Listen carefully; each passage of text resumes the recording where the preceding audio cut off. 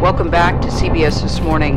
George Floyd's killing is the latest in a series of incidents highlighting tensions between the black community and police.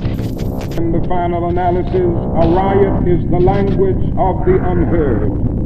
What is it that America has failed to hear? Has failed to hear that large segments of white society are more concerned about tranquility and the status quo than about justice, equality, and humanity. As you're out here, be responsible. Have a plan. You can protest all you want, but the I just saw a take place. I know there are people out here, homeless people, who rely on those banks to charge their phone. that it is your duty not to burn your own house down for anger with an enemy. It is your duty to fortify your own house so that you may be a house of refuge in times of organization. And now is the time to plot, plan, strategize, organize. It burns. Will we be left with charred or will we rise like a phoenix out of the ashes that Atlanta has always done?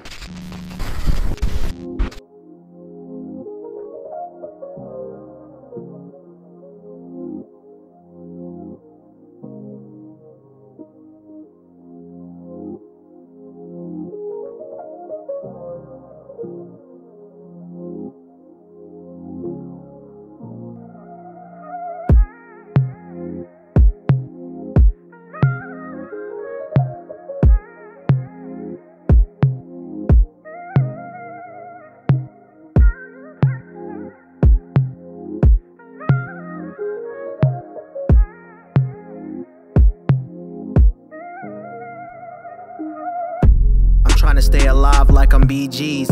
Demons looking at a mirror when they see me. Mama told me I should throw away my ego, only she knows I'm the one who tried to kill the way I see things. Burning bridges, I'm trying to picture the life I'm living. Hesitation played a game when I try to envision. My intuition to society's driven to victims suffering and giving all abuse, but no one never listens. I can't put my mind at ease, cause we bleed the same blood, but every day I still grieve. Another murder from the blue only remains unseen till the people wanna riot for bodies on concrete, I swear. I'm not black, but I stand with you.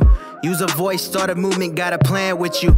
Together we keep it moving hand in hand. God created it so equal, when will people understand? Look. We, we are living in a war zone. It's not as easy as these people are making us think that they just got some criminal ass black kids with guns. It is not like that. We live in hell. The same reasons they need the riot hat, the riot jacket, the 9 millimeter Glocks with extra bullets, the tear gas, the mace, all that. Who do you think the police is using that against? Dogs? Violent riots and nobody's quiet. People looting is confusing, but I'm never biased. Now I ain't praying for the downfall. I just want a town hall preaching that we're never silent. Now I refuse to be the same, cause when the going gets tough, you know we gotta be the change. And when I see true colors, they ain't staying in their lane, cause they ain't never worn wanted shoes that reveal the same pain. Now look, my own cousins got their skin different, and when they tell me how they feel, you know I've been listening. Cause I pray to see another day. Breaks my heart that they are three hours away, and I'm saying my family has a lot that they can lose. I tell them that you gotta pick and choose. When a cop tries to stop me, you should never light a fuse. And it's never really easy when it's hands up, don't shoot. If you white folks want to be treated the way blacks are in this society, stand. Nobody's standing here. That says very plainly that you know what's happening.